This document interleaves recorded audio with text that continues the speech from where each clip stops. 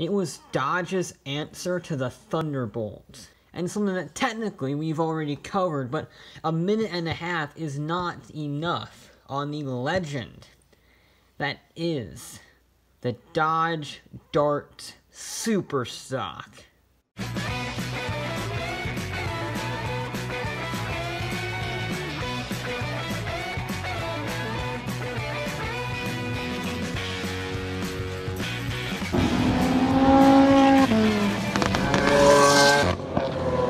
First, a little bit of background about the Dart. It was sort of Dodge's jack of all trades. It was a two door, a four door, a compact, a convertible, a station wagon, a taxi, and even most recently, a pile of junk.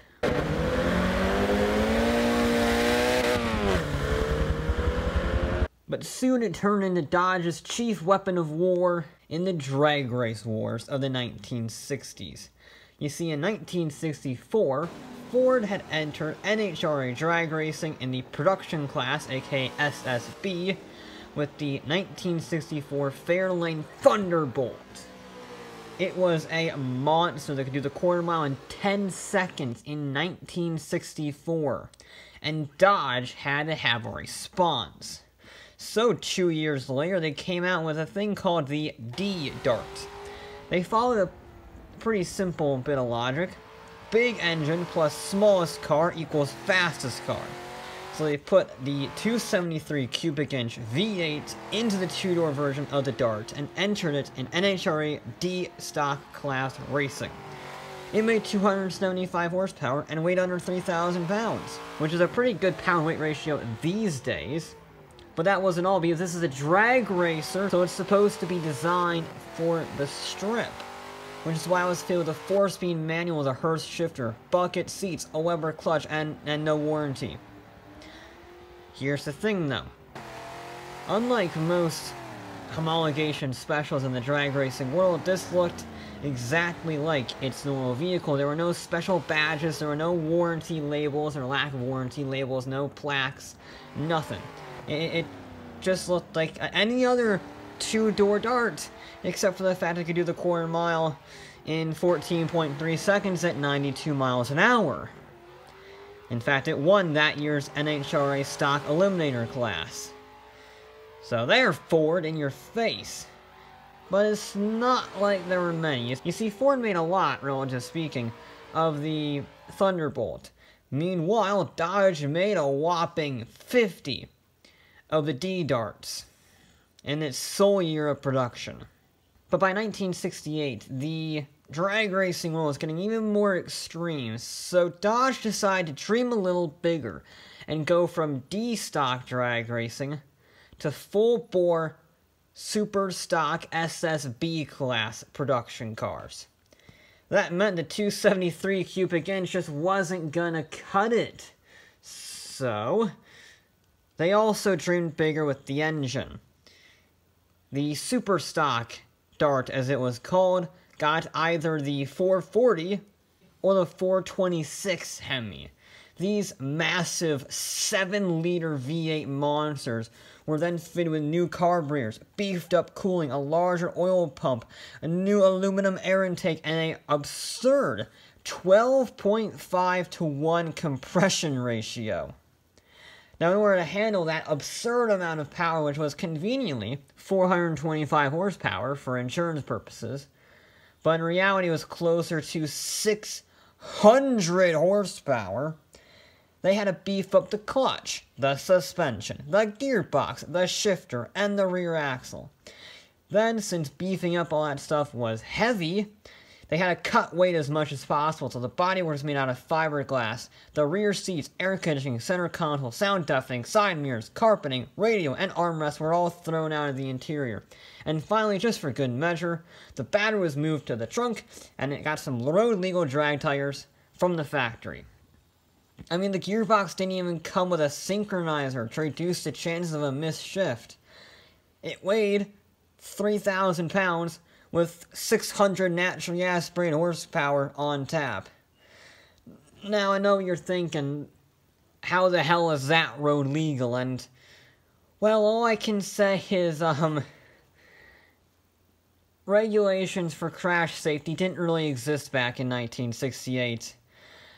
So it wasn't really necessary to worry about crashing it or safety or anything. I mean, even Chrysler themselves said, sure, it was road legal, but um, we're not going to give you a warranty, and the vehicle is only suited for, and I'm going to directly quote them here, supervised acceleration trials. Wonder what that can mean.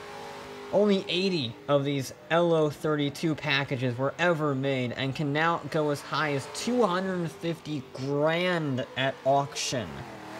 That's a very expensive muscle car. It's one of the most expensive Dodges in the world from this era. So, the statistics and the amount of effort they put into this vehicle is downright biblical in many ways. So, how did it do? Well, because the gear ratios were specifically tuned for drag racing, the top speed, despite having over almost 600 horsepower, was a bit terrible. At 130 miles an hour, it would buzz the limiter in fourth gear. However, because it was a 10 second car, that's what his goal was, they, um, reached that 130 mile an hour top speed in under 11 seconds.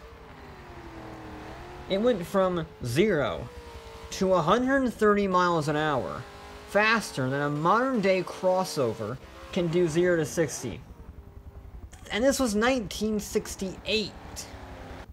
On the drag strip, it had a verified quarter mile of 10.46 seconds at 131 miles an hour.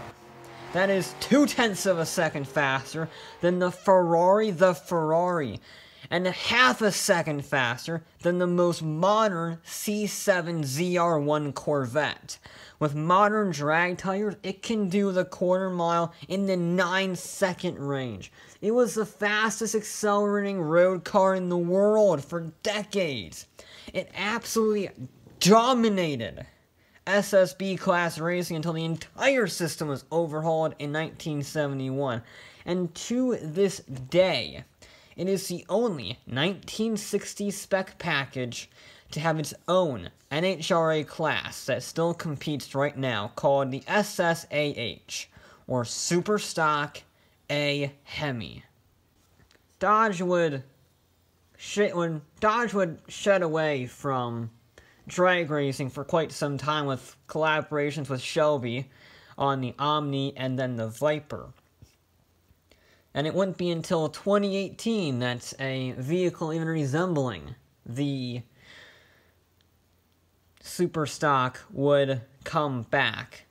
Only this time it didn't have the super stock name. No, it was much more evil. In 2018, Dodge unveiled their next Halo car after the ACR Viper. The Demon. It was an 840 horsepower, 2 ton behemoth that could do the quarter mile in under 9.7 seconds at 140 miles an hour. It was another masterpiece of drag racing engineering.